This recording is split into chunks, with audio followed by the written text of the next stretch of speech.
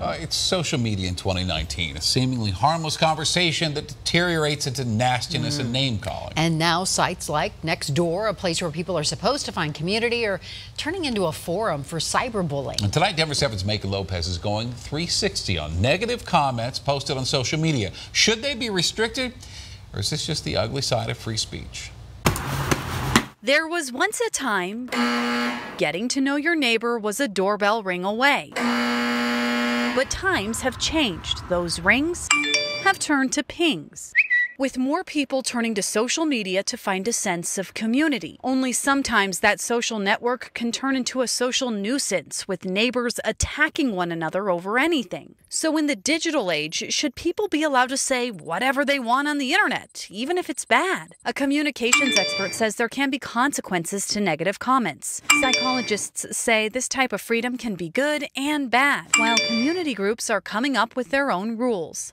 First, some context. Social media media sites are starting to try to control the collective narrative. For the last few years, we've been focused on rebuilding our systems for removing harmful content. In May, Facebook announced an update to how it will enforce community standards, saying it's making progress, but admitting on bullying and harassment, uh, we have a lot of work still to do.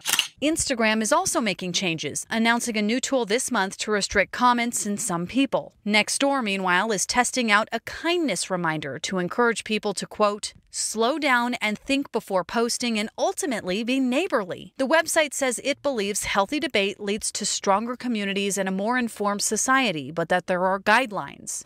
I have to approve each post. For word of mouth Littleton administrator Marie Nelson. So this is just kind of like my admin tools. Common decency comes down to the click of a button.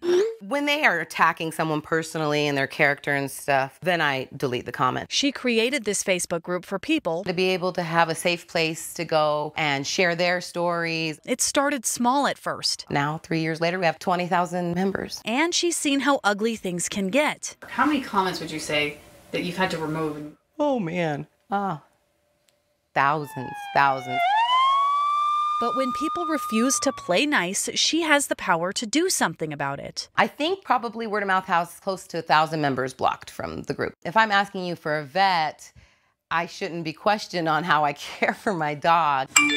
I want it to be a safe space. Social media is popular because people do want to connect with each other. That's DU professor Lynn Schofield Clark. She spent years studying the effects of social media. There's something about not being able to see the face of the person that you're reacting to that makes people feel free to say things that are nastier than they would in real life. She believes there's a value to this free speech, but says negative comments can have consequences. In Colorado, we have a state law now that says that people can be fined up to $750 for harassing somebody else online or even jail time. The messages that we put on social media last forever. Then there are the ripple effects. We tend to look at teenagers and think that they're the ones who bully each other and that we need to look out for them all the time, but they're learning it from their parents. And the effects on communities. We have a lot of fragile egos, I think, right now in the United States.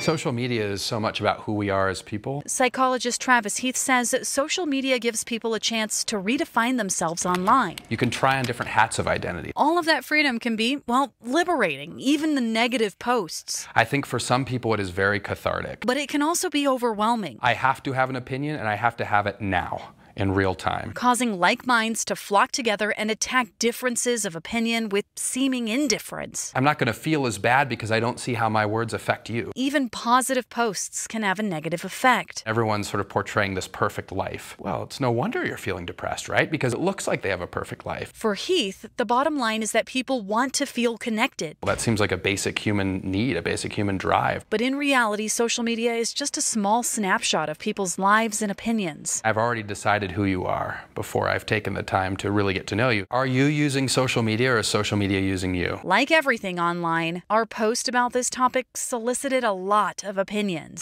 Some people believe they should be able to say whatever they want to whoever they want, whenever they want. Others believe there should be limits. A tangled web of opinion says people consider the limits of free speech in the digital age. Megan Lopez, Denver 7.